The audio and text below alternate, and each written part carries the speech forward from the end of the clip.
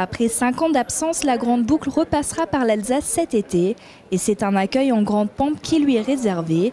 Des véhicules aux couleurs de l'Alsace partiront de Bruxelles le 6 juillet et participeront aux six premières étapes du Tour de France. 2019, c'est le centenaire du maillot jaune, l'un des plus grands symboles de l'histoire du sport, mais c'est aussi le centenaire du tout premier passage du Tour de France en Alsace. Après la Première Guerre mondiale, l'Alsace redevenue française et peut-être aussi un peu parce que je suis d'origine alsacienne par ma mère, il y avait en effet comme une évidence pour moi de, faire en sorte que le Tour passe de manière significative en Alsace en 2019 et ce sera le cas.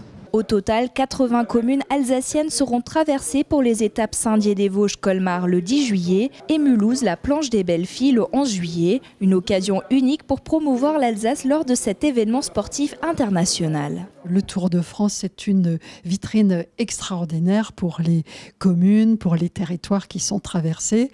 Ça permet euh, au monde entier eh bien, de découvrir l'Alsace. Si on avait dû payer une, des communicants pour avoir le, même, la même capacité de résonance, on aurait dû utiliser tout le budget du département.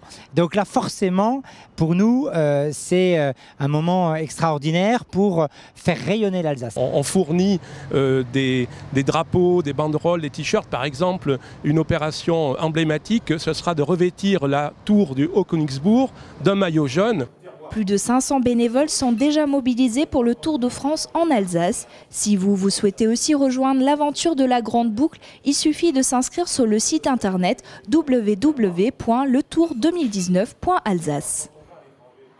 RGDS, partenaire des Alsaciens qui s'engagent.